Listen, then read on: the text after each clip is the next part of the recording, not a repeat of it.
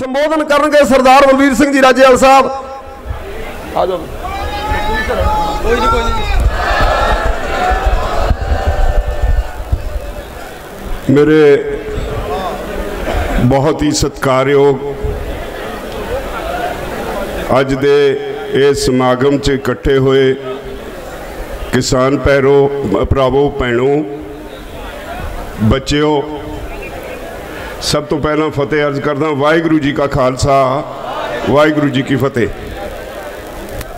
ਇਹ ਵੀ ਇੱਕ ਕਰੇਜ਼ ਹੁੰਦੀ ਹੈ, ਸਾਡੇ ਗਾਇਕਾਂ ਨਾਲ ਪਿਆਰ, ਸਤਿਕਾਰ ਹੁੰਦਾ ਹੈ, ਅਸੀਂ ਉਹਦੇ ਆਲੇ ਦੁਆਲੇ ਇਕੱਠੇ ਹੁੰਨੇ ਆ ਪਰ ਸਮੇਂ ਨਾਲ ਕੁਝ ਮੇਰੇ ਵਰਗੇ ਖੁਸ਼ਕ ਬੰਦਿਆਂ ਦੀਆਂ ਗੱਲਾਂ ਵੀ ਤੁਹਾਡੀ ਜ਼ਿੰਦਗੀ ਨਾਲ ਸੰਬੰਧ ਰੱਖਦੀਆਂ ਨੇ। ਉਹ ਵੀ ਸੁਣਨੀਆਂ ਬਣਦੀਆਂ ਨੇ। ਸੁਣਨੀਆਂ ਨਹੀਂ ਬਣਦੀਆਂ, ਉਹਨਾਂ ਤੇ ਵਿਚਾਰ ਕਰਨਾ ਵੀ ਬਣਦਾ ਹੈ। ਤੁਸੀਂ ਇੱਥੇ ਸਾਰੇ ਪਿਛਲੇ 48 ਦਿਨਾਂ ਤੋਂ ਟਰਾਲੀਆਂ 'ਚ ਘਰ ਪਾਈ ਬੈਠੇ ਹੋ। ਪੰਜਾਬ, ਹਰਿਆਣਾ, ਉੱਤਰ ਪ੍ਰਦੇਸ਼, ਉੱਤਰਾਖੰਡ, ਰਾਜਸਥਾਨ, ਮੱਧ ਪ੍ਰਦੇਸ਼, ਮਹਾਰਾਸ਼ਟਰ ਦੇ ਕਿਸਾਨ ਦਿੱਲੀ ਦੇ ਅਲੱਗ-ਅਲੱਗ ਨਾਕਿਆਂ ਉੱਤੇ, ਬਾਰਡਰਾਂ ਤੇ ਬੈਠੇ ਨੇ। ਲੱਖਾਂ ਦੀ ਤਾਦਾਦ 'ਚ ਬੈਠੇ ਨੇ। ਤੁਹਾਡੀ ਇੱਕ ਖਾਸ ਮੰਗ ਹੈ। ਤੁਹਾਡੇ ਭਵਿੱਖ ਦੀ ਜਿਹੜਾ ਖਤਰੇ 'ਚ ਪਾਇਆ ਕੇਂਦਰ ਨੇ ਕਾਨੂੰਨ ਬਣਾ ਕੇ, ਉਹਦੀ ਸੁਰੱਖਿਆ। ਉਹਦੇ ਲਈ ਤੁਸੀਂ ਇੱਥੇ ਸਾਰੇ ਤਪੱਸਿਆ ਕਰ ਰਹੇ ਹੋ। ਤੁਹਾਡੇ ਬੱਚਿਆਂ ਦੇ ਭਵਿੱਖ ਦੀ ਦਾ ਖਤਰਾ ਹੈ। ਤਾਂ ਤੁਸੀਂ ਤਪੱਸਿਆ ਕਰ ਰਹੇ ਹੋ। ਸਭ ਤੋਂ ਵੱਧ ਤਸੱਲੀ ਇਸ ਗੱਲ ਦੀ ਭਈ ਅੱਜ ਸਾਰਾ ਸਮਾਜ ਇਹ ਸਮਝਣ ਲੱਗਿਆ।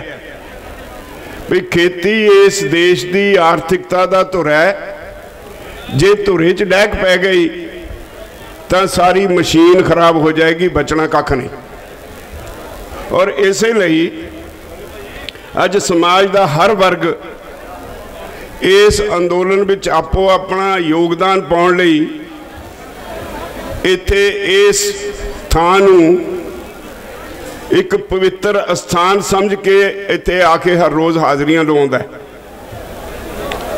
ਮੈਂ ਤੁਹਾਨੂੰ ਹਰ ਤੀਜੇ, ਚੌਥੇ ਦਿਨ ਤੁਹਾਡੇ ਸਾਹਮਣੇ ਹਾਜ਼ਰ ਹੋ ਕੇ ਮੈਂ ਹਾਜ਼ਰੀ ਲਾਉਣਾ ਤੁਹਾਡੇ ਚਰਨਾਂ 'ਚ। ਤੁਸੀਂ ਉਤਸੁਕ ਹੋ ਕੁਝ ਲੋਕਾਂ ਨੇ ਮੇਰੇ ਸਾਥੀਆਂ ਨੇ ਦੱਸਿਆ ਵੀ ਹੋਣਾ ਹੈ। ਸਰਕਾਰ ਨੇ ਕੁਝ ਕੇਸ ਸੁਪਰੀਮ ਕੋਰਟ ਵਿੱਚ ਪਵਾਏ ਨੇ। ਅਸੀਂ ਨਹੀਂ ਪਾਏ। ਨਾ ਅਸੀਂ ਪਾਰਟੀ ਸੀ, ਨਾ ਅਸੀਂ ਕੇਸ ਪਵਾਏ। ਔਰ ਏਡੇ ਮਹਿੰਗੇ ਮਹਿੰਗੇ ਵਕੀਲ ਖੜੇ ਕੀਤੇ ਆ ਸਰਕਾਰ ਨੇ ਜੀ ਆਪਣੇ ਆਪ ਚ ਸਾਬਤ ਹੁੰਦਾ ਹੈ। ਜਿਨ੍ਹਾਂ ਦੀ ਫੀਸ ਕੋਈ ਇੱਕਾ ਦੁੱਕਾ ਬੰਦਾ ਦੇ ਨਹੀਂ ਸਕਦਾ। ਜਦੋਂ ਉੱਥੇ ਉਹ ਤੁਹਾਡੇ ਖਿਲਾਫ ਖੜੇ ਐ, ਉਦੋਂ ਪਤਾ ਲੱਗਦਾ ਭਈ ਸਰਕਾਰ ਪਿੱਛੇ ਹੈ ਨੰਗਾ ਚੱਟਾ ਨਾਚ ਹੁੰਦਾ, ਨਜ਼ਰ ਆਉਂਦਾ ਪਿਛਲੇ ਦਿਨੀ ਇੱਕ ਵਿਦਿਆਰਥੀ ਵੱਲੋਂ ਪਟੀਸ਼ਨ ਪਾਈ ਗਈ ਪਈ ਜੀ ਇਹ ਜਿਹੜੇ ਇੱਥੇ ਬੈਠੇ ਨੇ ਕਿਸਾਨ, ਇਹਨਾਂ ਨੂੰ ਇੱਥੋਂ ਉਠਾਓ। ਸੁਪਰੀਮ ਕੋਰਟ ਨੇ ਹੁਕਮ ਦੇ ਦਿੱਤਾ ਭਈ ਲੋਕਾਂ ਦਾ ਅਧਿਕਾਰ ਹੈ, ਸ਼ਾਂਤਮਈ ਤਰੀਕੇ ਨਾਲ ਅੰਦੋਲਨ ਕਰ ਸਕਦੇ ਐ ਇਹ ਤਾਂ ਆਪਣੀ ਰਾਜਧਾਨੀ ਨੂੰ ਆ ਰਹੇ ਸੀ, ਸਰਕਾਰ ਨੇ ਰੋਕਿਆ, ਇਸ ਕਰਕੇ ਇਹਨਾਂ ਨੂੰ ਉਠਾਇਆ ਨਹੀਂ ਜਾ ਸਕਦਾ। ਸੁਪਰੀਮ ਕੋਰਟ ਨੇ ਕਿਹਾ ਵੀ ਜਦੋਂ ਤੱਕ ਇਹ ਸ਼ਾਂਤਮਈ ਰਹਿਣਗੇ, ਸਰਕਾਰ, ਪੁਲਿਸ ਬਲ ਜਾਂ ਕਿਸੇ ਹੋਰ ਤਰ੍ਹਾਂ ਦੀ ਫੋਰਸ ਦਾ ਇਸਤੇਮਾਲ ਇਹਨਾਂ ਤੇ ਨਹੀਂ ਕਰ ਸਕਦੀ। ਹੁਣ ਪਟੀਸ਼ਨ ਤਾਂ ਉੱਥੇ ਹੀ ਖਾਰਜ ਹੋ ਜਾਣੀ ਚਾਹੀਦੀ ਸੀ। ਪਰ ਉਹ ਤੋਂ ਬਾਅਦ ਸਰਕਾਰ ਨੇ ਸਾਡਾ 8 ਜਣਿਆਂ ਦਾ ਨਾਂ ਸੁਪਰੀਮ ਕੋਰਟ 'ਚ ਦੇ ਦਿੱਤਾ ਵੀ ਇਹਨਾਂ ਨੂੰ ਪਾਰਟੀ ਬਣਾਓ। ਸਾਨੂੰ ਪਾਰਟੀ ਬਣਾ ਲਿਆ, ਸਾਨੂੰ ਪਤਾ ਹੀ ਨਹੀਂ। ਘਰ ਵਿੱਚ ਬੈਠੇ ਅਸੀਂ ਪਾਰਟੀ ਬਣਾ ਲਏ। ਜਦੋਂ ਪਾਰਟੀ ਬਣਾਏ, ਉਦੋਂ ਤੱਕ 15 20 ਪਟੀਸ਼ਨਾਂ ਹੋਰ ਦਾਇਰ ਕਰ ਦਿੱਤੀਆਂ, ਜਿਹੜੀਆਂ ਹਾਲੇ ਵੀ ਪੈਂਡਿੰਗ ਪਈਆਂ ਸੁਪਰੀਮ ਕੋਰਟ 'ਚ। ਕੋਈ ਪਟੀਸ਼ਨ ਪਈ ਜੀ, ਇਹ ਕਾਨੂੰਨ ਰਹਿਣੇ ਚਾਹੀਦੇ ਨੇ, ਕੋਈ ਪਟੀਸ਼ਨ ਪਈ, ਇਹ ਨਹੀਂ ਰਹਿਣੇ ਚਾਹੀਦੇ। ਸਾਨੂੰ ਉਹਨਾਂ ਬਾਰੇ ਕੋਈ ਗਿਆਨ ਨਹੀਂ ਵੀ ਕਿਹੜੇ ਕਿਹੜੇ ਲੋਕ ਨੇ, ਕਿਹਨਾਂ ਕਿਹਨਾਂ ਨੇ ਉਹ ਪਟੀਸ਼ਨਾਂ ਕੀਤੀਆਂ। ਪਰ ਉਹਨਾਂ ਦੇ ਵਕੀਲਾਂ ਤੋਂ ਅੰਦਾਜ਼ਾ ਲੱਗ ਜਾਂਦਾ ਹੈ ਵੀ ਜਿਹੜੇ ਏਡੇ ਏਡੇ ਵੱਡੇ ਵਕੀਲ ਖੜੇ ਆ, ਇਹ ਸਰਕਾਰ ਤੋਂ ਬਿਨਾਂ ਨਹੀਂ ਖੜੇ ਹੋ ਸਕਦੇ। ਖੈਰ, ਪਰਸੋਂ ਉਹਦੀ ਤਾਰੀਖ ਸੀ 11 ਤਾਰੀਖ ਸੀ ਸਾਰਿਆਂ ਦੀ ਨਿਗਾਹ ਉਧਰ ਲੱਗੀ ਸੀ ਵੀ ਪਤਾ ਨਹੀਂ ਅੱਜ ਸੁਪਰੀਮ ਕੋਰਟ 'ਚ ਕੀ ਕਹੋ- ਕੀ ਹੋਏਗਾ ਕੀ ਕਹੇਗੀ ਕਿਉਂਕਿ ਸੁਪਰੀਮ ਕੋਰਟ ਨੇ ਉਹ ਤੋਂ ਪਹਿਲਾਂ ਬਹੁਤ ਸਾਰੀਆਂ ਗੱਲਾਂ ਇਹੋ ਜੀਆਂ ਕੀਤੀਆਂ ਜਿਹੜੀਆਂ ਕਿਸਾਨਾਂ ਦੇ ਹੱਕ ਦੀਆਂ ਸੀ ਸੁਪਰੀਮ ਕੋਰਟ ਨੇ ਫੈਸਲਾ ਸੁਣਾਉਂਦੇ ਵੀ ਇੱਕ ਗੱਲ ਤਾਂ ਇਹ تسلیم ਕਰ ਲਈ ਜਦੋਂ ਉਹਨੇ ਇਹਨਾਂ ਕਾਨੂੰਨਾਂ ਦੇ ਉੱਤੇ ਪਾਬੰਦੀ ਲਾਤੀ ਇਹਦਾ ਮਤਲਬ ਸੁਪਰੀਮ ਕੋਰਟ ਨੇ ਮੰਨ ਲਿਆ ਵੀ ਇਹ ਜਿਹੜੇ ਕਾਨੂੰਨ ਬਣਾਏ ਨੇ, ਗਲਤ ਬਣੇ ਨੇ। ਸਾਡਾ ਸਟੈਂਡ, ਉਹਦੀ ਪੁਸ਼ਟੀ ਹੋ ਗਈ ਵੀ ਅਸੀਂ ਠੀਕ ਸਟੈਂਡ ਲਿਆ। ਪਰ ਜੋ ਸਾਨੂੰ ਪਤਾ ਸੀ, ਉਹੀ ਹੋਣਾ ਸੀ। ਸਾਡੇ ਵਕੀਲਾਂ ਨੂੰ ਪੁੱਛਿਆ ਗਿਆ, ਵੀ ਤੁਸੀਂ ਦੱਸੋ ਜੇ ਅਸੀਂ ਕੋਈ ਕਮੇਟੀ ਬਣਾ ਦਈਏ ਤੇ ਤੁਹਾਡੇ ਜਿਹੜੇ ਕਲਾਇੰਟ ਨੇ ਉਹ ਕਮੇਟੀ ਦੇ ਸਾਹਮਣੇ ਪੇਸ਼ ਹੋਣਗੇ। ਅਸੀਂ ਆਪਣੇ ਵਕੀਲਾਂ ਨੂੰ ਕਹੇ, ਅਸੀਂ ਕਹੇ ਸੀ ਵੀ ਅਸੀਂ ਕੋਈ ਕਮੇਟੀ ਕਮੂਟੀ ਨਹੀਂ ਮੰਨਣੀ। ਇੱਥੋਂ ਤੱਕ ਕਹੇ ਸੀ ਵੀ ਜੇ ਕੱਲ ਨੂੰ ਸੁਪਰੀਮ ਕੋਰਟ ਕਹੇ ਸਾਡੇ ਹੁਕਮ ਦੀ ਉਲੰਘਣਾ ਕੀਤੀ ਹੈ, ਜੇਲ੍ਹ ਜਾਣਾ ਪਏ ਅਸੀਂ ਜੇਲ੍ਹ ਚਲੇ ਜਾਵਾਂਗੇ, ਅਸੀਂ ਨਹੀਂ ਮੰਨਣਾ।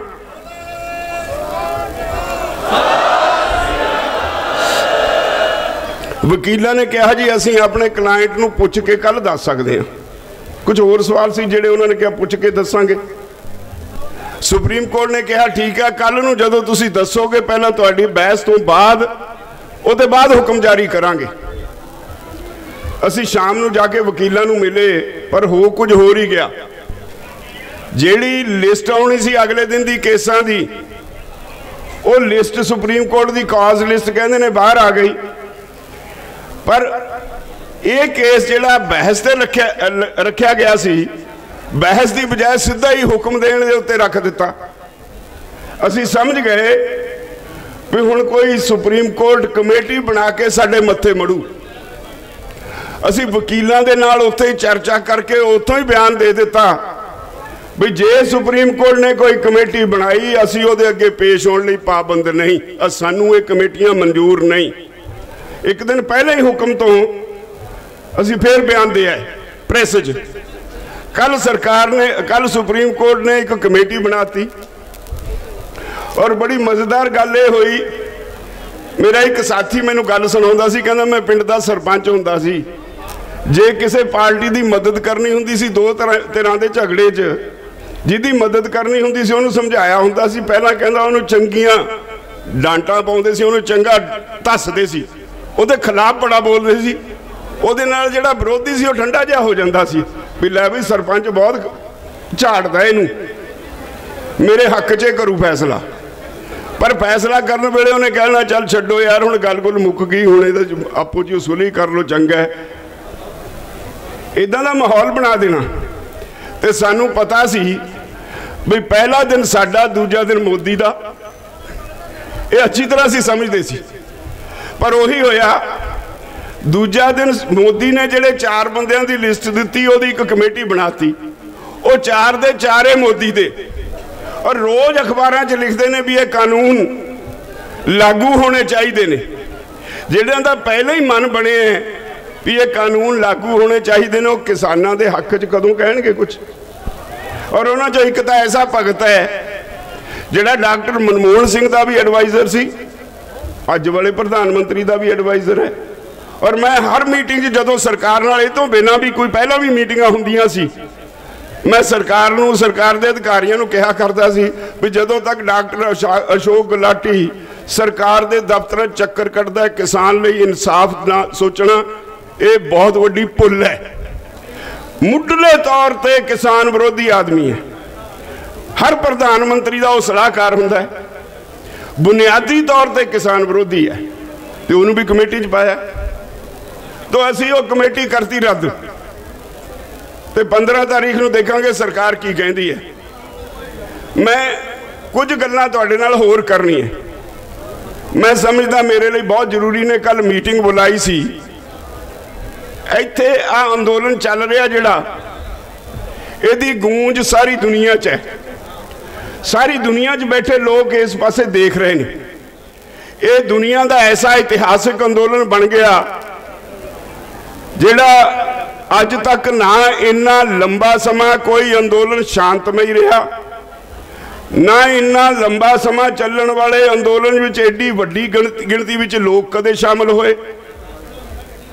ਤੇ ਨਾ ਹੀ ਇਹੋ ਜਿਹਾ ਅੰਦੋਲਨ ਸਰਕਾਰ ਦੇ ਨਾਲ ਦੁਨੀਆ 'ਚ ਕਿਤੇ ਹੋਇਆ? ਇਹ ਪਹਿਲਾ ਅੰਦੋਲਨ ਹੈ ਜਿਹਦੇ ਤੇ ਆਉਣ ਵਾਲੇ ਸਮਿਆਂ 'ਚ ਖੋਜ ਕਰਿਆ ਕਰਨਗੇ ਵਿਦਿਆਰਥੀ। ਇਹ ਪਹਿਲਾ ਅੰਦੋਲਨ ਹੈ ਜਿਹਦੇ ਤੇ ਸਾਰੀ ਦੁਨੀਆ ਦੀਆਂ ਅੱਖਾਂ ਲੱਗੀਆਂ ਹੋਈਆਂ। ਔਰ ਮੈਂ ਸਮਝਦਾ ਤੁਹਾਡਾ ਅੰਦੋਲਨ ਸੱਚ ਉੱਤੇ ਆਧਾਰਿਤ ਹੈ, ਇਸ ਕਰਕੇ ਤੁਸੀਂ ਇਕੱਲੇ ਨਹੀਂ ਰਹੇ। ਇਸ ਹਿੰਦੁਸਤਾਨ 'ਚੋਂ ਖਾਸ ਤੌਰ ਤੇ ਪੰਜਾਬੀ ਦੁਨੀਆ ਦੇ ਜਿੱਥੇ ਵੀ ਕਿਸੇ ਕੋਨੇ 'ਚ ਬੈਠਾ ਹੈ ਉਹ ਜਾਂ ਧਰਨੇ ਦੇ ਰਿਹਾ ਜਾਂ ਮੁਜ਼ਾਹਰੇ ਕਰ ਰਿਹਾ ਜਾਂ ਸਰਕਾਰ ਦੇ ਖਿਲਾਫ ਕੋਈ ਨਾ ਕੋਈ ਰੋਸ ਪ੍ਰਗਟ ਕਰ ਰਿਹਾ ਹੈ। ਦੁਨੀਆ ਦੇ ਬਹੁਤ ਸਾਰੇ ਦੇਸ਼ਾਂ ਵਿੱਚ ਤੁਹਾਡੇ ਇਹਨਾਂ ਕਾਨੂੰਨਾਂ ਦੇ ਉੱਤੇ ਪਾਰਲੀਮੈਂਟਾਂ 'ਚ ਬਹਿਸ ਹੋ ਚੁੱਕੀ। ਔਰ ਮੈਂ ਸਮਝਦਾ ਸਾਡੇ ਇਸ ਕਾਜ਼ ਨੂੰ ਹੋਰ ਬਲ ਮਿਲਿਆ। ਜਦੋਂ ਇੰਗਲੈਂਡ ਦੇ ਪ੍ਰਧਾਨ ਮੰਤਰੀ ਨੇ 26 ਜਨਵਰੀ ਨੂੰ ਇੱਥੇ ਆਉਣ ਤੋਂ ਇਨਕਾਰ ਕੀਤਾ। ਇਹ ਕਹਿ ਕੇ ਵੀ ਤੁਸੀਂ ਆਪਣੇ ਕਿਸਾਨਾਂ ਤੇ ਜ਼ੁਲਮ ਕਰ ਰਹੇ ਹੋ। ਇੰਗਲੈਂਡ ਦੇ 100 ਐਮਪੀ ਇਕੱਠੇ ਹੋ ਕੇ ਆਪਣੇ ਪ੍ਰਧਾਨ ਮੰਤਰੀ ਨੂੰ ਮਿਲੇ।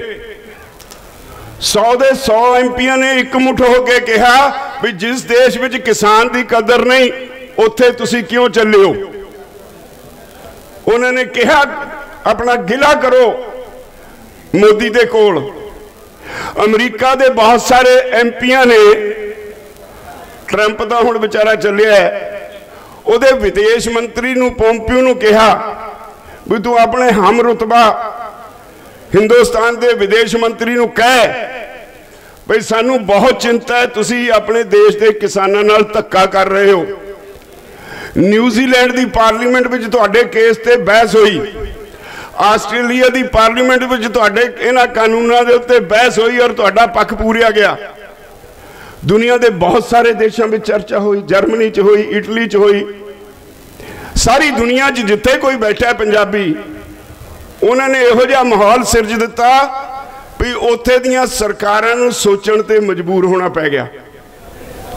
ਹੁਣ ਇਹੋ ਜਿਹਾ ਅੰਦੋਲਨ ਜਿਹੜਾ ਇੰਨਾ ਸ਼ਾਂਤਮਈ ਚੱਲਦਾ ਹੈ ਇਹਨੂੰ ਚੱਲਦੇ ਨੂੰ ਅੱਜ 48 ਦਿਨ ਤਾਂ ਇੱਥੇ ਬੈਠਿਆਂ ਨੂੰ ਹੋ ਗਏ ਹੋ ਗਏ। ਪਿਛਲੇ 6-7 ਮਹੀਨੇ। ਜਿਹੜਾ ਤੁਸੀਂ ਪੜਾਵਾਰ ਪਹਿਲਾਂ ਧਰਨੇ ਮੁਜਾਰੇ ਸੈਮੀਨਾਰ, ਫਿਰ ਰੇਲਵੇ ਟਰੈਕ, ਫਿਰ ਇੱਥੇ ਆ ਕੇ ਬਹਿ ਗਏ। ਕਦੇ ਭਾਰਤ ਬੰਦ ਹੁੰਦਾ, ਕਦੇ ਕੁਝ ਹੁੰਦਾ ਐਡੇ ਸਫਲ ਪੜਾਵਾਂ ਦੇ ਵਿੱਚੋਂ ਨਿਕਲੇ। ਜਿਹੜੇ ਕਿਸਾਨ ਵਿਰੋਧੀ ਨੇ, ਉਹਨਾਂ ਨੂੰ ਕਿਤੇ ਚੈਨ ਆਉਂਦੀ ਹੈ? ਜਿਹੜੇ ਲੋਕਾਂ ਦੀ ਸੋਚ ਹੈ, ਇਹਦੇ ਵਿੱਚੋਂ ਆਪਣੀਆਂ ਦੋ ਰੋਟੀਆਂ ਸੇਕਣ ਦੀ, ਉਹਨਾਂ ਨੂੰ ਕਿਤੇ ਨੀਂਦ ਆਉਂਦੀ ਹੈ? ਐਡਾ ਵੱਡਾ ਇਕੱਠ ਐਡਾ ਸ਼ਾਂਤਮਈ ਇਕੱਠ ਐਡਾ ਸੋਚ ਸਮਝ ਕੇ ਹੋਇਆ ਇਕੱਠ ਐਡਾ ਖੁੱਲਾ ਦਿਮਾਗ ਰੱਖ ਕੇ ਹੋਇਆ ਇਕੱਠ, ਉਹਨਾਂ ਲੋਕਾਂ ਨੂੰ ਮੌਕਾ ਮਿਲ ਗਿਆ ਜਿਹੜੇ ਆਪਣੀਆਂ ਦੋ ਰੋਟੀਆਂ ਸੇਕਣਾ ਚਾਹੁੰਦੇ ਨੇ। ਮੈਂ ਬਾਰ-ਬਾਰ ਤੁਹਾਨੂੰ ਇਹ ਤੋਂ ਚੌਕਸ ਕਰਦਾ। ਸਾਡੇ ਕੋਲ ਬਹੁਤ ਸਾਰੀਆਂ ਗੱਲਾਂ ਆਉਣ ਲੱਗ ਪਈਆਂ। 26 ਜਨਵਰੀ ਦਾ ਪ੍ਰੋਗਰਾਮ ਕੋਈ ਆਖਰੀ ਪ੍ਰੋਗਰਾਮ ਨਹੀਂ। ਕਿਉਂਕਿ 26 ਜਨਵਰੀ ਇੱਕ ਅਹਿਮ ਦਿਨ ਹੈ ਹਿੰਦੁਸਤਾਨ ਦੇ ਇਤਿਹਾਸ ਦਾ। ਅਸੀਂ ਉਸ ਤਰੀਕ ਤੱਕ ਦੇ ਪ੍ਰੋਗਰਾਮ ਤੈਅ ਕੀਤੇ। ਭਈ ਸਰਕਾਰ ਨੂੰ ਪਤਾ ਹੋਏ, ਅਸੀਂ ਦਬਾਅ ਖੜਾ ਕਰਾਂਗੇ ਸਰਕਾਰ ਦੇ ਉੱਤੇ ਵੀ ਤੁਸੀਂ ਛੇਤੀ ਮੰਨ ਜਾਓ। ਪਰ ਇਹਦਾ ਮਤਲਬ ਇਹ ਨਹੀਂ ਵੀ ਅਸੀਂ ਇੱਥੋਂ ਭੱਜਣ ਵਾਲੇ ਆ 26 ਜਨਵਰੀ ਦੇ ਪ੍ਰੋਗਰਾਮ ਨੂੰ ਸਾਡੇ ਜਿਹੜੇ ਵਿਰੋਧੀ ਨੇ, ਉਹਨਾਂ ਨੇ ਇਸ ਤਰ੍ਹਾਂ ਪ੍ਰਚਾਰ ਦਿੱਤਾ ਜਿਵੇਂ ਇਹ ਇੱਕ ਦੇਸ਼ ਦੇ ਉੱਤੇ ਹਮਲਾ ਕਰਨ ਵਾਲਾ ਪ੍ਰੋਗਰਾਮ ਹੋਵੇ। ਇਸ ਤਰ੍ਹਾਂ ਪ੍ਰਚਾਰ ਦਿੱਤਾ ਜਿਵੇਂ 26 ਜਨਵਰੀ ਆਖਰੀ ਪ੍ਰੋਗਰਾਮ ਹੋਵੇ। 26 ਜਨਵਰੀ ਨੂੰ ਇਸ ਤਰ੍ਹਾਂ ਕਹਿ ਦਿੱਤਾ, ਕੁਝ ਲੋਕ ਕਹਿਣ ਲੱਗੇ ਆਪਣੇ ਆਪ ਬਣਾ ਕੇ, ਮੈਨੂੰ ਤਾਂ ਸਮਝ ਨਹੀਂ ਆਉਂਦੀ, ਜ਼ਿੰਮੇਵਾਰੀ ਤਾਂ ਜਿਹੜੇ ਅਸੀਂ ਇੱਥੇ 32 ਕਿਸਾਨ ਜਥੇਬੰਦੀਆਂ ਦੇ ਆਗੂ ਨੇ, ਇਹਨਾਂ ਤੇ ਹੈ। ਉਹਨਾਂ ਦੀ ਨੀਂਦ ਹਰਾਮ ਕਰ ਦਿੱਤੀ, ਵਿਰੋਧੀਆਂ ਨੇ ਜਦੋਂ ਇਹ ਕਹਿਣ ਲੱਗ ਪਏ ਬਈ ਲਾਲ ਕਿਲੇ ਤੇ ਝੰਡਾ ਚੜਾਉਣਾ ਉਹ ਭਲੇ ਮਾਨਸੋ, ਬਗਾਵਤ ਕਰਨ ਆਏ ਆ ਅਸੀਂ ਇੱਥੇ। ਅਸੀਂ ਅੰਦੋਲਨ ਕਰਨ ਆਏ ਆ ਅਸੀਂ ਕੋਈ ਪੋਲੀਟੀਕਲ ਪਾਰਟੀ ਨਹੀਂ। ਅਸੀਂ ਕਿਸਾਨਾਂ ਦਾ ਅੰਦੋਲਨ ਕਿਸਾਨਾਂ ਵਾਸਤੇ ਲੜ ਰਹੇ ਹਾਂ। ਕਿਸੇ ਨੇ ਲਾਲ ਕਿਲੇ ਤੇ ਝੰਡਾ ਚੜਾਉਣ ਦੀ ਗੱਲ ਨਹੀਂ ਕਹੀ। ਪੋਸਟਾਂ ਪੈਣ ਲੱਗੀਆਂ ਇੱਥੋਂ ਹੀ ਕੋਈ ਭਾਵਕ ਹੋ ਕੇ ਸਾਡੇ ਵਿੱਚੋਂ ਹੀ ਕੋਈ ਕਹਿ ਗਿਆ ਜਿਹਦੀ ਸਾਨੂੰ ਕੱਲ ਕਲਾਸ ਲਾਉਣੀ ਪੈ ਗਈ। ਭਾਈ ਜੀ, ਅਸੀਂ ਪਾਰਲੀਮੈਂਟ ਤੇ ਕਬਜ਼ਾ ਕਰ ਲੈਣੇ। ਅਸੀਂ ਕੱਲ ਉਹਨੂੰ ਪੁੱਛਿਆ, ਬਈ ਸਾਨੂੰ ਤਾਂ ਦੱਸ ਦੇ ਕਿਹੜੇ, ਕਿਹੜੀ ਮੀਟਿੰਗ 'ਚ ਫੈਸਲਾ ਹੋਇਆ, ਤੂੰ ਪਾਰਲੀਮੈਂਟ ਤੇ ਕਬਜ਼ਾ ਕਰਨ ਜਾਣਾ? ਸਾਨੂੰ ਤਾਂ ਦੱਸ ਦਿਓ, ਜਿਹੜੇ ਲਾਲ ਕਿਲੇ ਤੇ ਝੰਡਾ ਲਾਉਣ ਵਾਲੇ ਨੇ, ਅਸੀਂ ਤਾਂ ਸਾਰੇ ਜਿਹੜੇ ਦਿਨ ਰਾਤ ਇਸ ਅੰਦੋਲਨ ਦੀ ਬਿਹਤਰੀ ਲਈ ਇਹਦਾ ਭਾਰ ਆਪਣੇ ਦਿਮਾਗ 'ਚ ਲਈ ਫਿਰਦੇ ਹਾਂ। ਜਿਨ੍ਹਾਂ ਨੂੰ ਨੀਂਦ ਵੀ ਨਹੀਂ ਆਉਂਦੀ ਵੀ ਅੱਜ ਸਾਡਾ ਭਾਈਚਾਰਾ ਹੈ, ਇਮਾਨਦਾਰੀ ਦੀ ਗੱਲ ਹੈ, ਮੈਂ ਰੋਜ਼ ਕਹਿਣਾ ਆਪਣੇ ਸਾਥੀਆਂ ਨੂੰ। ਤੁਸੀਂ ਸਾਡੇ ਸੱਦੇ ਤੇ ਆਏ ਹੋ ਇੱਥੇ ਸਾਡਾ ਇੱਕ اخلاقی ਫਰਜ਼ ਹੈ ਵੀ ਜਿੱਤ ਕੇ ਵੀ ਜਾਈਏ ਤੇ ਤੁਹਾਡੇ ਝਰੀਟ ਬਣਾ ਕਿਸੇ ਤੇ ਆਵੇ ਸਾਡੀ ਇਹ ਜ਼ਿੰਮੇਵਾਰੀ ਹੈ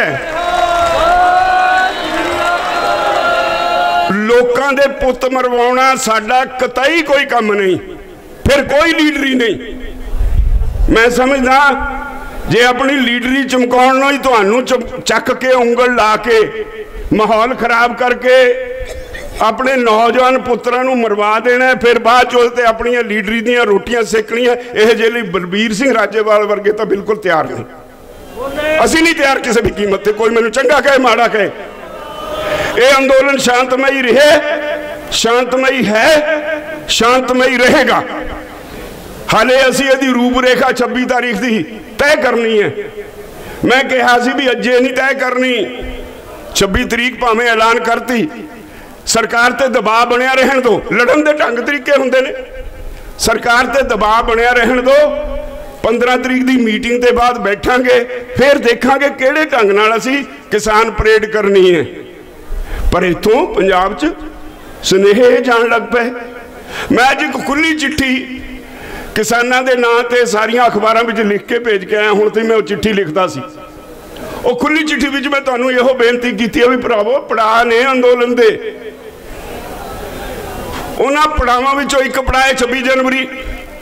ਕਿਹਨੇ ਕਿਹਾ ਤੁਹਾਨੂੰ ਵੀ ਤੁਸੀਂ ਬੈਰੀਕੇਡ ਤੋੜਨ ਲਈ ਅੱਗੇ ਜੁਗਾੜ ਫਿੱਟ ਕਰਨ ਲੱਗ ਜਾਓ ਟਰੈਕਟਰਾਂ ਦੇ? ਕਿਹਨੇ ਕਿਹਾ? ਲੱਖ ਲੱਖ ਰੁਪਏ ਦੇ ਜੁਗਾੜ ਫਿੱਟ ਕਰਾ ਰਹੇ ਨੇ। ਇਹ ਕਿਹਦੀ ਕਿਹਦੀ ਸ਼ਰਾਰਤ ਹੈ? ਇੱਥੇ ਬਹੁਤ ਸਾਰੇ ਕੁਝ ਤਾਕਤਾਂ ਬੈਠੀਆਂ ਨੇ। ਸਾਡੇ ਤੇ ਇਲਜ਼ਾਮ ਲੱਗਿਆ, ਸੁਪਰੀਮ ਕੋਰਟ 'ਚ ਇੱਕ ਹੋਰ ਕੇਸ ਹੋ ਗਿਆ ਸਾਡੇ ਖਿਲਾਫ। ਸੋਮਵਾਰ ਨੂੰ ਉਹਦੀ ਤਾਰੀਖ ਹੈ। ਹਾਲੇ ਆਇਆ ਨਹੀਂ ਸਾਨੂੰ ਨੋਟਿਸ। ਸੁਪਰੀਮ ਕੋਰਟ ਨੇ ਜੋ ਪੜ ਇਧਰ ਉਧਰ ਅਖਬਾਰਾਂ 'ਚੋਂ ਪੜ੍ਹਦੇ ਆ, ਸਾਨੂੰ ਨੋਟਿਸ ਹੋ ਗਿਆ ਉਹਦੇ 'ਚ। ਉਹ ਹੋ ਗਿਆ ਵੀ 26 ਜਨਵਰੀ ਨੂੰ ਇਹਨਾਂ ਨੂੰ ਦਿੱਲੀ ਜਾਣ ਤੋਂ ਰੋਕੋ। ਔਰ ਉਹਨਾਂ ਨੇ ਕਿਹਾ, ਸਰਕਾਰ ਵਾਲਿਆਂ ਨੇ ਕਿਹਾ ਵੀ ਇਹਨਾਂ 'ਚ ਖਾਲਿਸਤਾਨੀ ਆ ਗਏ। ਇਹਨਾਂ ਨੂੰ ਵਿਦੇਸ਼ਾਂ ਤੋਂ ਪੈਸਾ ਆਉਂਦਾ ਹੈ। ਇਹਨਾਂ 'ਚ ਭੰਨ ਤੋੜ ਕਰਨ ਵਾਲੇ ਆ ਗਏ। ਇਹ ਦਿੱਲੀ ਨੂੰ ਹਾਈਜੈਕ ਕਰਨਗੇ। ਪਤਾ ਨਹੀਂ ਕੀ ਕੁਝ ਇਲਜ਼ਾਮ ਉਹਨਾਂ ਨੇ ਸਾਡੇ ਤੇ ਲਾ ਕੇ ਪਟੀਸ਼ਨ ਪਾਈ ਹੈ ਸੁਪਰੀਮ ਕੋਰਟ 'ਚ। ਤੇ ਸੁਪਰੀਮ ਕੋਰਟ ਨੇ ਕਿਹਾ, ਅਸੀਂ ਨਹੀਂ ਮੰਨਦੇ ਵੀ ਇਹਨਾਂ 'ਚ ਖਾਲਿਸਤਾਨੀ ਆਏ ਨੇ। ਜੇ ਖਾਲਿਸਤਾਨੀ ਆਏ ਆ, ਪੁਲਿਸ ਕਾਦੇ ਵਾਸਤੇ ਫੜ ਲੈ ਖਾਲਿਸਤਾਨੀਆਂ ਨੂੰ? ਇਹਨਾਂ ਨੂੰ ਕਿਉਂ ਖਾਲਿਸਤਾਨੀ ਕਹਿੰਦੇ ਹੋ? ਇਹਨਾਂ ਨੇ ਕਿਹਾ, ਉਹਨਾਂ 'ਚ ਅੱਤਵਾਦੀ ਆ ਗਏ। ਸੁਪਰੀਮ ਕੋਰਟ ਨੇ ਕਿਹਾ, ਜੇ ਅੱਤਵਾਦੀ ਆ ਗਏ, ਫੜੋ ਤੁਸੀਂ। ਇਹਨਾਂ ਨੂੰ ਅੱਤਵਾਦੀ ਸਾਰਿਆਂ ਨੂੰ ਕਿਉਂ ਕਹਿੰਦੇ ਹੋ? ਪਰ ਫਿਰ ਵੀ ਸੁਪਰੀਮ ਕੋਰਟ ਨੇ ਕਿਹਾ, ਹਲਫੀਆ ਬਿਆਨ ਦਾਇਰ ਕਰੋ। ਜਿਹੜੇ ਤੁਸੀਂ ਇਲਜ਼ਾਮ ਲਾਉਨੇ ਹੋ ਇਹਦੇ। ਸਰਕਾਰ ਨੇ ਕਿਹਾ, ਅਸੀਂ ਕੱਲ ਨੂੰ ਹਲਫੀਆ ਬਿਆਨ ਦਾਇਰ ਕਰਾਂਗੇ ਆਈਬੀ ਦੀ ਰਿਪੋਰਟ ਆਉਣ ਤੋਂ ਬਾਅਦ। ਇਹ ਇਲਜ਼ਾਮ ਕਿਉਂ ਲੱਗ ਰਹੇ ਨੇ? ਇੱਥੇ ਬਹੁਤ ਥੋੜੇ ਜਿਹੇ ਲੋਕ ਨੇ, ਇੱਥੇ ਹੁਣ ਮੈਂ ਰੋਜ਼ ਦੇਖਦਾ, ਮੈਂ ਤਾਂ ਬੁੜਾ ਆਦਮੀ ਆ ਮੈਂ ਇੱਕ ਹੱਦ ਤੱਕ ਹੀ ਕਹਿ ਸਕਦਾ ਆਪਣੇ ਸਾਥੀਆਂ ਨੂੰ। ਇੱਥੇ ਬਹੁਤ ਸਾਰੇ ਲੋਕ ਨੇ ਜਿਹੜੇ ਧੱਕੇ ਨਾਲ ਕੇ ਟਾਈਮ ਮੰਗਦੇ ਨੇ। ਔਰ ਤੁਸੀਂ ਵੀ ਵਿੱਚੋਂ ਉਹਨਾਂ ਦੀ ਉੱਚੀ ਉੱਚੀ 10 ਕੁ ਮੁੰਡੇ ਬਹਿ ਜਾਂਦੇ ਨੇ, ਹਾ ਹਾ ਹਾ ਕਰਕੇ ਲਲਾ ਲਲਾ ਕਰਕੇ ਇਹਨਾਂ ਨੂੰ ਟਾਈਮ ਦਵਾ ਦਿੰਦੇ ਹੋ। ਲਾਈਨ ਤੇ ਬੋਲਦੇ ਹੀ ਨਹੀਂ ਜਥੇਬੰਦੀ ਦੇ। ਭਰਾਵੋ, ਜੇ ਕੁਝ ਹੋ ਗਿਆ, ਕਿਸੇ ਨੇ ਕਿਸੇ ਨੂੰ ਕੁਝ ਨਹੀਂ ਕਹਿਣਾ, ਸਾਨੂੰ ਕਿਸੇ ਨੇ ਬਖਸ਼ਣਾ ਨਹੀਂ। ਅਸੀਂ ਜਿਹੜੇ ਬੱਤੀਆਂ ਸਾਡੇ ਸਾਨੂੰ ਕੋਈ ਰਾਹ ਨਹੀਂ ਲੱਭਣਾ। ਜੇ ਕੋਈ ਗਲਤ ਕਦਮ ਚੱਕਿਆ ਗਿਆ ਤਾਂ। ਮੈਂ ਅੱਜ ਇਸ ਲਈ ਤੁਹਾਡੇ ਸਾਹਮਣੇ ਆਇਆ, ਤੁਹਾਡਾ ਇਹ ਅੰਦੋਲਨ ਜਿਹਨੂੰ ਸਾਰੀ ਦੁਨੀਆ ਦੇਖ ਰਹੀ ਹੈ, ਇਹ ਤੁਹਾਡਾ ਅੰਦੋਲਨ ਹੈ। ਕਿਸੇ ਪੋਲੀਟੀਕਲ ਪਾਰਟੀ ਦਾ ਨਹੀਂ, ਸਿਆਸੀ ਪਾਰਟੀਆਂ ਦੇ ਵੀ ਦਰਦ ਬਹੁਤ ਹੁੰਦਾ ਹੈ। ਉਹ ਵੀ ਤਰ੍ਹਾਂ ਤਰ੍ਹਾਂ ਦੇ ਦਾਅਵੇ ਕਰਨ ਲੱਗ ਪਈਆਂ, ਇੱਥੇ ਆਉਂਦੀਆਂ ਬੰਦੇ ਵੀ ਭੇਜਦੇ ਨੇ, ਉਹਨਾਂ ਦੀ ਜ਼ਰੂਰਤ ਨਹੀਂ ਪੈਂਦੀ ਸਟੇਜ ਤੇ ਆਉਣ ਦੀ। ਉਹ ਵੀ ਇਹ- ਉਹਨਾਂ ਨੂੰ ਵੀ ਇਹ ਅੰਦੋਲਨ ਪਾਉਂਦਾ ਨਹੀਂ, ਉਹ ਕਹਿੰਦੇ ਨੇ, ਜੇ ਅੱਜ ਕਾਮਯਾਬ ਹੋ ਗਿਆ ਅੰਦੋਲਨ ਤਾਂ ਲੋਕਾਂ ਨੇ ਸਿਆਸੀ ਪਾਰਟੀਆਂ ਤੇ ਹੋਰ ਜ਼ਿਆਦਾ ਤੇਜ਼ੀ ਨਾਲ ਸਵਾਲ ਕਰਨੇ ਕਰਨੇ ਸ਼ੁਰੂ ਕਰ ਦੇਣੇ ਨੇ ਜਿਹੜੇ ਅੱਜ ਹੁੰਦੇ ਨੇ। ਅੱਜ ਤੋਂ ਪਹਿਲੀ ਵਾਰੀ ਇਹ ਹੋਇਆ ਵੀ ਲੋਕਾਂ ਨੇ ਆਪਣੀ ਹੈਸੀਅਤ ਨੂੰ ਸਮਝਿਆ ਔਰ ਲੀਡਰਾਂ ਤੇ ਸਵਾਲ ਕਰਨ ਲੱਗੇ ਨੇ। ਨਹੀਂ ਤਾਂ ਪੋਲੀਟੀਕਲ ਪਾਰਟੀਆਂ ਦੇ ਲੀਡਰਾਂ ਦੇ ਅੱਗੇ ਹੱਥ ਬੰਨਿਆ ਕਰਦੇ ਸੀ ਅਸੀਂ। ਜਦੋਂ ਆਉਂਦੇ ਸੀ ਅਸੀਂ ਘੰਟਾ ਘੰਟਾ ਹਾਰ ਫੜ ਕੇ ਉਡੀਕ ਮੈਨੂੰ ਯਾਦ ਆਈ ਇੱਕ ਗੱਲ। ਇੱਕ ਐਜੀਟੇਸ਼ਨ ਸੀ, ਅਸੀਂ ਗੱਲ ਕਰਨ ਲੱਗੇ, ਇੱਕ ਮੰਤਰੀ ਨੂੰ ਕਿਹਾ ਵੀ ਤੁਹਾਡਾ ਕੰਮ ਬੜਾ ਵਧੀਆ ਹੈ। ਬਈ ਲੋਕੀ, ਸਾਨੂੰ ਤਾਂ ਭਾਵੇਂ ਗਾਲਾਂ ਕੱਢ ਦੇਣ, ਅਸੀਂ ਰੋਜ਼ ਉਹਨਾਂ ਦੀ ਸੇਵਾ ਕਰੀ ਜੀ ਤੁਹਾਡੇ ਲਈ ਹਾਰ ਚੱਕੀ ਫਿਰਦੇ ਹੁੰਦੇ ਨੇ। ਕਹਿੰਦਾ ਇਹ ਤੋਂ ਵੀ ਵਧੀਆ ਹੈ। ਜਦੋਂ ਕਿਸੇ ਨੇ ਕੋਈ ਪਿੰਡ ਵਾਲੇ ਆਉਂਦੇ ਨੇ, ਦੋ ਪਿੰਡ ਦੇ ਚੌਧਰੀ, ਬਈ ਜੀ, ਮੰਤਰੀ ਜੀ, ਸਾਡੇ ਪਿੰਡ ਆਓ। ਅਸੀਂ ਪੰਜ ਚਾਰ ਗੇੜੇ ਤਾਂ ਉਹਨਾਂ ਦੀ ਗੱਲ ਸੁਣੀ, ਅਣਸੁਣੀ ਕਰਦੇ ਨੇ ਗੱਲ ਹੀ ਨਹੀਂ ਸੁਣਦੇ। ਪਤਾ ਹੁੰਦਾ ਵੀ ਇਹਨੇ ਫੇਰ ਆ ਕੇ ਮਿੰਤਾ ਕਰਨੀ ਇਹਨੂੰ ਹੋਰ ਮਿੰਤਾ ਕਰ ਲੈਣ ਦੋ ਜਦ ਬਹੁਤ ਮਿੰਤਾ ਕਰਦਾ, ਫਿਰ ਪੀਏ ਨੂੰ ਕਹਿੰਦੇ ਦੇਖਤਾ ਯਾਰ ਕਿਹੜਾ ਦਿਨ ਵਿਹਲਾ ਹੈ। ਉਹ ਤਰੀਕ ਦੇ ਦਿੰਦਾ, ਦਿਨ ਦੇ ਦਿੰਦਾ ਜਾਣ ਕੇ 2 ਘੰਟੇ ਲੇਟ ਲੇਟ ਜਾਂਦੇ ਆ ਅੱਡੀਆਂ ਚੱਕ ਚੱਕ ਕੇ ਦੇਖਦੇ ਨੇ ਵੀ ਮੰਤਰੀ ਦੀ ਕਾਰ ਕਿੱਥੇ ਕਾਉਂਦੀ ਹੈ। ਦੇਣਾ ਲੈਣਾ ਕੁਝ ਨਹੀਂ। ਉਹਦੇ ਹਾਰ ਪਾਉਣ ਨੂੰ ਇੱਕ ਦੂਜੇ ਦੇ ਪੈਰ ਵੱਢਦੇ ਨੇ। ਉਹ ਕਹਿੰਦਾ, ਅਸੀਂ ਇਹਨਾਂ ਦਾ ਕਿਉਂ ਕੁਝ ਕਰੀਏ, ਜਦ ਤੱਕ ਇਹ, ਇਹਨਾਂ ਨੂੰ ਆਪ ਨੂੰ ਅਕਲ ਨਹੀਂ ਹੈ। ਅਸੀਂ ਦੇਣਾ ਨਹੀਂ, ਲੈਣਾ ਨਹੀਂ ਕੁਝ ਆਪਣੇ ਪੈਰ ਵੱਢੀ ਜਾਂਦੇ ਨੇ ਇੱਕ ਦੂਜੇ ਦੇ। ਤੇ ਇਹਨਾਂ ਨੂੰ ਆਪ ਨੂੰ ਸਮਝ ਨਹੀਂ ਵੀ ਸਾਡੀ ਸ਼ਕਤੀ ਕੀ ਆ, ਸਾਡੀ ਸ਼ਕਤੀ ਨਾਲੇ ਮੰਤਰੀ ਬਣੇ ਨੇ। ਤੋ ਇਸ ਲਈ ਅੱਜ ਇੱਕ ਗੱਲ ਇਹ ਬਈ ਬੜੀ ਤਸੱਲੀ ਵਾਲੀ ਹੋਈ ਹੈ, ਜਿੱਥੇ ਸਮਾਜ ਵਿੱਚ ਚੇਤਨਾ ਜਾਗੀ ਹੈ। ਸਾਰਾ ਸਮਾਜ ਇਕਮੁੱਠ ਹੋਇਆ ਹੈ, ਭਾਈਚਾਰਾ ਇਕਮੁੱਠ ਹੋਇਆ ਹੈ। ਉਥੇ ਲੋਕੀ ਪੋਲੀਟੀਕਲ ਲੀਡਰਸ਼ਿਪ ਤੇ ਸਵਾਲ ਕਰਨ ਲੱਗ ਪਏ ਵੀ ਹੁਣ ਤੇ ਦੱਸੋ ਤੁਸੀਂ ਕਰਦੇ ਕੀ ਰਹੇ ਹੋ? ਜਿਹੜਾ ਕਹਿੰਦਾ ਅਸੀਂ ਅਸੀਂ ਅੰਦੋਲਨ ਲੜਦੇ ਹਾਂ, ਉਹਨੂੰ ਪੁੱਛਣ ਲੱਗ ਪਏ ਵੀ ਜਿੱਦਣ ਆਰਡੀਨੈਂਸ ਕੈਬਨਿਟ 'ਚ ਪੇਸ਼ ਹੋਏ ਸੀ, ਉਦੋਂ ਤੁਸੀਂ ਕਿੱਥੇ ਸੀ? ਉਦੋਂ ਕਿਉਂ ਨਾ ਅਸਤੀਫਾ ਦਿੱਤਾ? ਤੋ ਇਸ ਲਈ ਮੇਰੀ ਤੁਹਾਨੂੰ ਸਾਰਿਆਂ ਨੂੰ ਤੁਹਾਡੇ ਚਰਨਾਂ 'ਚ ਬੇਨਤੀ ਹੈ, ਮੈਂ ਇਹ ਕਰਨ ਆਇਆ। ਆਹ ਦਿਨ ਬਹੁਤ ਵੱਡੇ ਸੋਚ ਕੇ ਤੁਰਨ ਵਾਲੇ ਦਿਨ ਨੇ। ਜਿਉਂ-ਜਿਉਂ 26 ਜਨਵਰੀ ਨੇੜੇ ਆਉਂਦੀ ਹੈ, ਤੁਹਾਡੀਆਂ ਵਿਰੋਧੀ ਤਾਕਤਾਂ ਓਨੀਆਂ ਜ਼ਿਆਦਾ ਸਰਗਰਮ ਹੋ ਰਹੀਆਂ। ਓਨਾ ਹੀ ਜ਼ਿਆਦਾ ਉਹਨਾਂ ਨੂੰ ਬੁਖਾਰ ਚੜਿਆ ਹੋਇਆ ਬਈ ਕਿਵੇਂ ਇਹਦੇ ਵਿੱਚ ਕੁਝ ਕਰ ਦਈਏ? ਇਹ ਹੁਣ ਤੁਹਾਡੇ ਹੱਥ ਹੈ, ਮੈਂ ਤੁਹਾਨੂੰ ਆਪਣਾ ਫਰਜ਼ ਸਮਝ ਕੇ ਚੌਕਸ ਕਰਨ ਲੱਗਿਆ ਭਰਾਵੋ, ਤੁਸੀਂ ਜਿੱਤ ਵੱਲ ਵਧ ਰਹੇ ਹੋ, ਕੋਈ ਤਾਕਤ ਤੁਹਾਨੂੰ ਹਰਾ ਨਹੀਂ ਸਕਦੀ, ਜੇ ਤੁਸੀਂ ਸ਼ਾਂਤਮਈ ਰਹਿੰਦੇ ਹੋ, ਮੇਰੀ ਗਾਰੰਟੀ ਹੈ। ਕੋਈ ਤਾਕਤ ਹਰਾ ਨਹੀਂ ਸਕਦੀ, ਜੇ ਜਿਹੜੀਆਂ ਤਾਕਤਾਂ ਤੁਹਾਡੇ ਖਿਲਾਫ ਲੱਗੀਆਂ ਹੋਈਆਂ, ਜੇ ਉਹਨਾਂ ਨੂੰ ਪਛਾਣ ਕੇ ਫੜਨਾ ਸ਼ੁਰੂ ਕਰ ਦਿਓਗੇ। ਬਹੁਤ ਕੁਝ ਹੈ ਇੱਥੇ, ਇਸ ਅੰਦੋਲਨ ਦੇ ਵਿੱਚ ਪਹੁੰਚਿਆ ਹੋਇਆ ਸਾਡੇ ਨਿਗਾਹ 'ਚ ਹੈ। ਸਾਡੇ ਵਲੰਟੀਅਰ ਰੋਜ਼ ਫੜਦੇ ਨੇ। ਇੰਨਾ ਕੁਝ ਘੁਸਪੈਠ ਹੋ ਗਈ, ਇਹ ਉਮੀਦ ਵੀ ਰੱਖਣੀ ਚਾਹੀਦੀ ਹੈ ਜਿੱਥੇ ਇੰਨੀ ਵੱਡੀ ਗਿਣਤੀ ਹੋਵੇ ਲੋਕਾਂ 'ਚ, ਉੱਥੇ ਜਿਹੜਾ ਮਾੜਾ ਅੰਸਰ ਆ, ਉਹ ਆ ਕੇ ਕੁਛ ਵੀ ਜਾਂਦਾ ਹੁੰਦਾ ਵਿੱਚ। ਇਹ ਕੁਦਰਤੀ ਹੈ। ਔਰ ਅੱਜ ਸਾਡਾ ਬੱਚਾ ਬੱਚਾ ਹਰ ਘਰ ਦੇ ਵਿੱਚ, ਅਸੀਂ ਸਾਰੇ ਇਸ ਅੰਦੋਲਨ ਦੇ ਵਿੱਚ ਖੂਬ ਗਏ ਹਾਂ। ਮੈਂ ਆਪਣੀ ਚਿੱਠੀ 'ਚ ਲੋਕਾਂ ਨੂੰ ਲਿਖਿਆ ਹੈ ਵੀ ਮੈਨੂੰ ਦੱਸਿਓ, ਅੱਜ ਤੱਕ ਕਦੀ ਨਹੀਂ ਹੋਇਆ ਜਿਸ ਅੰਦੋਲਨ ਲਈ ਦਰਬਾਰ ਸਾਹਿਬ ਦੇ ਵਿੱਚ ਉਹਦੀ ਸਫਲਤਾ ਲਈ ਅਰਦਾਸ ਹੋਈ ਹੋਵੇ, ਜਿਸ ਅੰਦੋਲਨ ਦੀ ਸਫਲਤਾ ਲਈ ਹਰ ਪਿੰਡ ਵਿੱਚ ਗੁਰੂ ਘਰ ਵਿੱਚ ਅਰਦਾਸ ਹੁੰਦੀ ਹੋਵੇ, ਜਿਸ ਅੰਦੋਲਨ ਦੀ ਸਫਲਤਾ ਲਈ ਹਿੰਦੂ ਵੀਰ ਹਵਨ ਕਰਦੇ ਹੋਣ, ਮੁਸਲਮਾਨ ਵੀਰ ਕਲਾਮਾ ਪੜ੍ਹਦੇ ਹੋਣ, ਅੱਜ ਤੱਕ ਕੋਈ ਅੰਦੋਲਨ ਇਹੋ ਜਿਹਾ ਨਹੀਂ ਹੋਇਆ। ਉਸ ਅੰਦੋਲਨ ਦੀ ਸਫਲਤਾ ਤੁਸੀਂ ਦੇਖਣਾ ਨਹੀਂ ਚਾਹੋਗੇ? ਤੁਸੀਂ ਉਸ ਅੰਦ- ਅੰਦੋਲਨ ਦੀ ਜਿੱਤ ਦੇਖਣਾ ਨਹੀਂ ਚਾਹੋਗੇ? ਉਹਨੂੰ ਜਿੱਤ ਨੂੰ ਹਾਰ ਵੱਲ ਬਦਲਣਾ ਚਾਹੋਗੇ?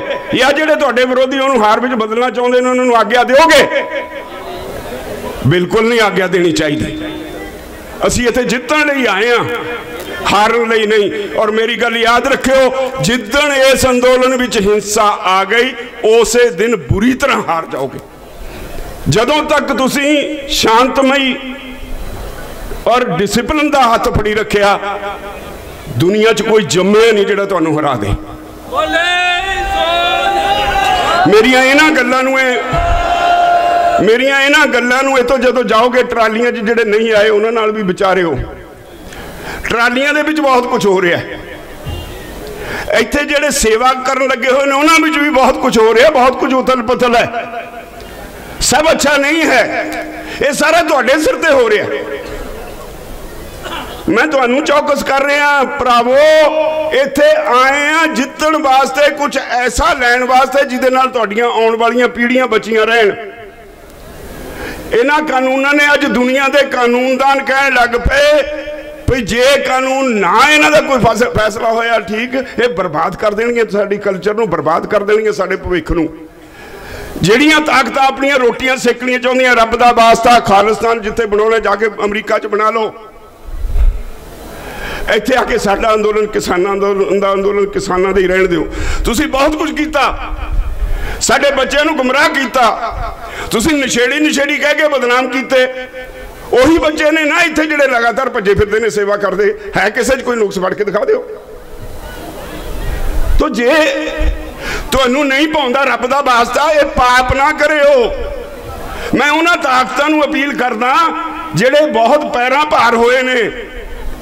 ਇਹ ਪਾਪ ਨਾ ਕਰਿਓ ਇਹ ਅੰਦੋਲਨ 26 ਤਰੀਕ ਨੂੰ ਅੰਤ ਨਹੀਂ ਇਹਦਾ। ਜੇ ਕਿਤੇ ਕਹੋ 26 ਨੂੰ ਅਸੀਂ ਚੜ੍ਹਾਈ ਕਰਨੀ ਹੈ, ਅਸੀਂ ਬਗਾਵਤ ਕਰਨ ਵਾਲੇ ਆ ਅਸੀਂ ਹਿੰਦੁਸਤਾਨ ਦੀ ਰਾਜਧਾਨੀ ਤੇ ਹਮਲਾ ਕਰਨਾ ਹੈ ਇਦਾਂ ਨਹੀਂ ਅਸੀਂ ਕਰਨਾ। ਪੀਸਫੁਲ ਅੰਦੋਲਨ ਹੈ। ਦਵਾਂਗੇ ਲਾਈਨ 15 ਤਰੀਕ ਦੀ ਬਾਅਦ ਮੀਟਿੰਗ ਹੋਏਗੀ। ਡਿਸਕਸ ਕਰਾਂਗੇ ਕਿਵੇਂ ਕਿਵੇਂ ਹੋਣਾ ਸਾਰੇ ਜਿਹੜੇ ਪਿੱਛੇ ਬੈਠੇ ਉਹਨਾਂ ਨੂੰ ਟੈਲੀਫੋਨ ਤੇ ਕਹੋ ਆ ਜਿਹੜੇ ਜਗਾੜ ਜੇ ਫਿੱਟ ਕਰਦੇ ਹੋ, ਇਹ ਬੰਦ ਕਰੋ। ਅਸੀਂ ਕਿਸੇ ਦਾ ਟਰੈਕਟਰ ਨਹੀਂ ਬਣਾਉਣਾ। ਅਸੀਂ ਕਿਸੇ ਦਾ ਪੁੱਤ ਨਹੀਂ ਮਰਵਾਉਣਾ। ਸਾਨੂੰ ਤੁਸੀਂ ਸਾਰੇ ਸਾਡੇ ਆਪਣੇ ਧੀਆਂ ਪੁੱਤਰ ਹੋ ਸਾਨੂੰ ਤੁਹਾਡੀ ਬਹੁਤ ਚਿੰਤਾ ਹੈ। ਇਸ ਲਈ ਮੇਰੀ ਬੇਨਤੀ ਹੈ ਆ ਜਿਹੜਾ ਅੰਦੋਲਨ ਹੈ, ਇਹ ਆਪ ਸਿਖਰ ਤੇ ਪਹੁੰਚ ਗਿਆ। ਸਾਰੀ ਦੁਨੀਆ ਇਹਦੇ ਵੱਲ ਦੇਖ ਰਹੀ ਹੈ। ਆਪਣੀ ਜ਼ਿੰਮੇਵਾਰੀ ਦਾ ਅਹਿਸਾਸ ਕਰਿਓ ਕਿ ਦੁਨੀਆ ਤੁਹਾਡੇ ਵੱਲ ਦੇਖ ਰਹੀ ਹੈ। ਤੁਸੀਂ ਕੀ ਕਰਦੇ ਹੋ? ਤੁਸੀਂ ਇਸ ਅੰਦੋਲਨ ਦੇ ਯੋਧੇ ਹੋ। ਹਰ ਸਿਪਾਹੀ ਹੈ ਫੌਜ ਦਾ।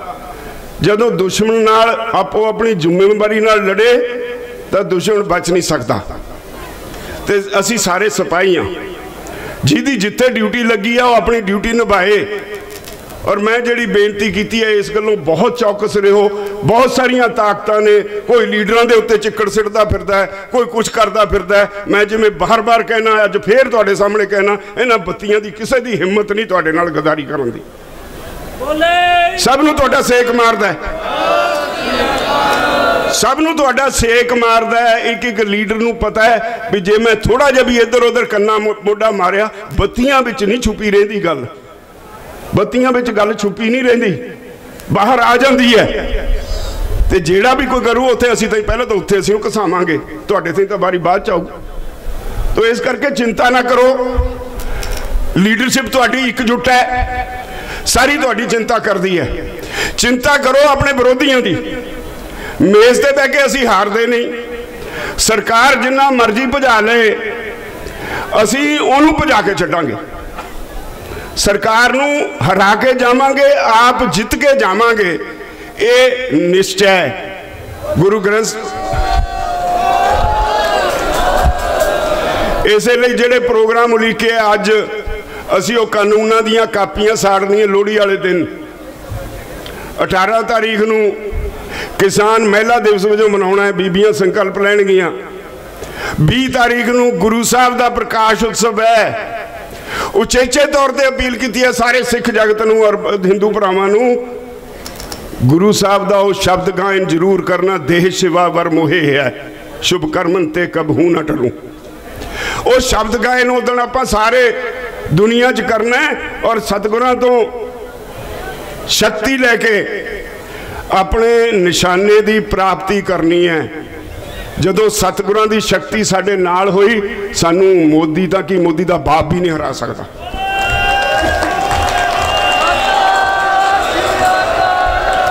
ਇਸ ਕਰਕੇ ਮੇਰੀ ਤੁਹਾਨੂੰ ਸਾਰਿਆਂ ਨੂੰ ਬੇਨਤੀ ਹੈ, ਅਪੀਲ ਹੈ, ਆ ਜਿਹੜੇ ਗੰਦੀਆਂ ਮੰਦੀਆਂ ਦੀਆਂ ਚਿੱਠੀਆਂ ਪਾ ਕੇ ਭੇ- ਭੇਜੀ ਜਾਂਦੇ ਹੋ ਨਾ ਇਹਦਾ ਵੀ ਕੋਈ ਲਾਭ ਨਹੀਂ ਹੁੰਦਾ ਤੁਹਾਨੂੰ। ਇਹਦੇ ਨਾਲ ਵੀ ਜਿਹੜੇ ਠੀਕ ਸੋਚ ਵਾਲੇ ਲੋਕ ਨੇ, ਚਾਹੇ ਤੁਸੀਂ ਆਪਣੇ ਵਿਰੋਧੀ ਨੂੰ ਇਹ ਗਾਲਾਂ ਕੱਢਦੇ ਹੋ, ਉਹ ਕਹਿੰਦੇ ਨੇ, ਯਾਰ ਕੀ ਹੋ ਗਿਆ ਇਹਨਾਂ ਨੂੰ? ਗਾਲਾਂ ਕੱਢਣ ਸਾ- ਸਾਡੀ ਕਲਚਰ ਨਹੀਂ ਹੈ। ਗੰਦ ਬੋਲਣਾ ਸਾਡੀ ਕਲਚਰ ਨਹੀਂ ਹੈ। ਖਾਸ ਤੌਰ ਤੇ ਸਿੱਖਾਂ ਦੀ ਤਾਂ ਕਈ ਕਲਚਰ 'ਚ ਨਹੀਂ ਹੈ ਇਹ। ਤੋ ਇਸ ਲਈ ਮੇਰੀ ਬੇਨਤੀ ਹੈ ਥੋੜਾ ਜਿਹਾ ਆਪਣੇ ਅੰਦਰ ਡਿਸਪਲਿਨ ਲਿਆਓ। ਕਿਸੇ ਨੂੰ ਗੰਦਾ ਬੋਲਣ ਨਾਲੋਂ ਉਹਦੀ ਸੇਵਾ ਕਰ ਦਿਓ ਵਾਹਿਗੁਰੂ ਗੰਦ ਉਹਦੇ ਤੇ ਸਿੱਟ ਰੱਖੇ ਸਾਡੇ ਵੱਲ ਨਾ ਆਉਣ ਦੇ। ਔਰ ਮੈਂ ਅੰਤ ਵਿੱਚ ਤੁਹਾਤੋਂ ਹਮੇਸ਼ਾ ਵਿਸ਼ਵਾਸ ਤੁਹਾਡੇ ਕੋਲੋਂ ਲੈ ਕੇ ਜਾਣਾ ਇਸ ਧਰਤੀ ਨੂੰ ਨਤਮਸਤਕ ਹੋਣ ਲਈ ਆਉਣਾ, ਔਰ ਇੱਥੋਂ ਹੀ ਮੈਂ ਆਸ਼ੀਰਵਾਦ ਲੈ ਕੇ ਜਾਣਾ ਤੁਹਾਡੇ ਚਰਨਾਂ ਤੋਂ, ਵੀ ਵਾਹਿਗੁਰੂ ਸਾਨੂੰ ਸੁਧ ਬੁੱਧੀ ਬਖਸ਼ੀ, ਜਿਵੇਂ ਅਸੀਂ ਹੁਣ ਤੱਕ ਲੜਦੇ ਆਏ ਹਾਂ ਸਰਕਾਰ ਨਾਲ, ਅਸੀਂ ਮੇਜ਼ ਤੇ ਬਹਿ ਕੇ ਨਾ ਹਾਰੀਏ, ਅਸੀਂ ਸਰਕਾਰ ਨਾਲ ਇਸੇ ਤਰ੍ਹਾਂ ਤੇਰੀ ਦਿੱਤੀ ਸ਼ਕਤੀ ਨਾਲ ਅਸੀਂ ਲੜਦੇ ਰਹੀਏ ਔਰ ਆਪਣੇ ਭਾਈਚਾਰੇ ਦੀ ਝੋਲੀ 'ਚ ਜਿੱਤ ਪਾ ਦਈਏ। ਇੰਨਾ ਮੈਨੂੰ ਉਮੀਦ ਹੈ, ਤੁਹਾਡੇ ਤੇ ਵਿਸ਼ਵਾਸ ਹੈ। ਆਪੋ ਆਪਣਾ ਖਿਆਲ ਰੱਖੋਗੇ, ਆਪੋ ਆਪਣੀਆਂ ਟਰਾਲੀਆਂ ਦਾ ਖਿਆਲ ਰੱਖੋਗੇ। ਆਲੇ ਦੁਆਲੇ ਕੀ ਹੁੰਦਾ ਉੱਥੇ, ਅੱਖ ਰੱਖੋਗੇ, ਤੇਜ਼ ਬਾਜ ਅੱਖ ਰੱਖੋਗੇ। ਔਰ ਮੈਂ ਆਪਣੀਆਂ ਭੈਣਾਂ ਨੂੰ, ਆਪਣੀਆਂ ਬੇਟੀਆਂ ਨੂੰ, ਸਭ ਨੂੰ ਅਪੀਲ ਕਰਾਂਗਾ, ਮਹਿ- ਮਹਿਲਾ ਦਿਵਸ ਤੇ ਹੋਰ ਵੱਡੀ ਗਿਣਤੀ ਚਾਹੋ। ਔਰ ਆਪੋ ਆਪਣੇ ਥਾਂ, ਪੰਜਾਬ 'ਚ ਵੀ ਇਹ ਹੋ ਰਿਹਾ, ਅੱਜ ਬਹੁਤ ਥਾਈਂ ਇਹ ਕਾਨੂੰਨ ਦੀਆਂ ਕਾਪੀਆਂ ਸਾੜੀਆਂ ਜਾ ਰਹੀਆਂ, ਇਨਫੋਰਮੇਸ਼ਨ ਸਾਡੇ ਕੋਲ ਆ ਰਹੀ ਹੈ, ਸਾਰੇ ਦੇਸ਼ 'ਚ ਸਾੜੀਆਂ ਜਾ ਰਹੀਆਂ। ਔਰ ਬਹੁਤ ਸਾਰੀ, ਇੱਕ ਮੁਸ਼ਕਲ ਸਾਡੀ ਇਹ ਵੀ ਹੈ, ਮੀਡੀਆ ਸਰਕਾਰ ਦੇ ਕਬਜ਼ੇ 'ਚ ਹੈ। ਜਾਂ ਬਹੁਤੇ ਚੈਨਲ ਅੰਬਾਨੀਆਂ, ਅਡਾਨੀਆਂ ਦੇ ਨੇ। ਤੁਹਾਡੀ ਖਬਰ ਦਿੰਦੇ ਨਹੀਂ, ਤੁਹਾਨੂੰ ਬਦਨਾਮ ਕਰਨ ਵਾਲੀ ਖਬਰ ਟਪੂਸੀਆਂ ਮਾਰ-ਮਾਰ ਕੇ ਦਿੰਦੇ ਨੇ। ਇੱਥੇ ਤੁਹਾਡੇ ਵਿੱਚੋਂ ਤੁਹਾਨੂੰ ਜਿਵੇਂ ਮੇਰੇ ਤੋਂ ਪਹਿਲਾਂ ਕਲਾਕਾਰ ਬੱਬੂ ਮਾਨ ਕਹਿ ਕੇ ਗਿਆ ਸੀ, ਬੜੀ ਦਰੁਸਤ ਗੱਲ ਕਹਿ ਕੇ ਗਿਆ ਸੀ। ਤੁਹਾਡੇ ਵਿੱਚੋਂ ਅਣਜਾਣ ਜੇ ਬੰਦੇ ਨੂੰ ਫੜ ਲੈਂਦੇ ਨੇ ਵੀ ਇਹ ਤੇ ਕੁਝ ਪੁੱਛੀਏ। ਉਹਨੂੰ ਜਾਣਕਾਰੀ ਹੁੰਦੀ ਨਹੀਂ। ਉਹ ਟੀਵੀ ਦੇ ਸਾਹਮਣੇ ਕੈਮਰੇ ਦੇ ਖੜ ਕੇ ਉਹ ਕੁਝ ਬੋਲ ਦਿੰਦਾ, ਉਹਨੂੰ ਉੱਤੇ ਦਿਖਾ ਕੇ ਬਾਰ-ਬਾਰ ਉਹੀ ਦਿਖਾਈ ਜਾਂਦੇ ਨੇ। ਦੇਖੋ ਜੀ, ਇਹਨਾਂ ਨੂੰ ਤਾਂ ਪਤਾ ਹੀ ਨਹੀਂ ਕਾਨੂੰਨ ਦਾ ਹੀ ਨਹੀਂ ਜੀ ਪਤਾ ਜੀ। ਇਹ ਦੇਖੋ ਜੀ ਬਿਠਾਏ ਕਹੇ ਜੇ ਬੰਦੇ ਬਿਠਾਏ ਨੇ। ਔਰ ਬ- ਦੇਸ਼ ਦਾ ਮੀਡੀਆ ਆਪਣਾ ਠੀਕ ਰੋਲ ਅਦਾ ਨਹੀਂ ਕਰ ਰਿਹਾ। ਜਿਹੜਾ ਸੋਸ਼ਲ ਮੀਡੀਆ ਤੇ ਨਵੇਂ ਚੈਨਲ ਚਲੇ ਨੇ, ਇਹਨਾਂ ਨੇ ਬਚਾਇਆ ਹੋਇਆ ਤੁਹਾਨੂੰ। ਆ ਸਾਡੇ ਮੁੰਡੇ ਜਿਹੜੇ ਕੈਮਰੇ ਚੱਕੀ ਫਿਰਦੇ ਨੇ ਨਾ, ਜਿਹੜਾ ਵੱਡਾ ਨੈਸ਼ਨਲ ਮੀਡੀਆ ਜਿਹਨੂੰ ਕਹਿੰਦੇ ਉਹਦੇ 'ਚ ਤਾਂ ਇੱਕ ਦੋ ਚੈਨਲ ਨੇ। ਬਾਕੀ ਸਾਰੇ ਤੁਹਾਡੇ ਵਿਰੋਧੀ ਨੇ। ਪਰ ਇੱਕ ਖਿਆਲ ਰੱਖਿਓ, ਕਿਸੇ ਨੂੰ ਕਹਿਣਾ ਕੁਝ ਨਹੀਂ।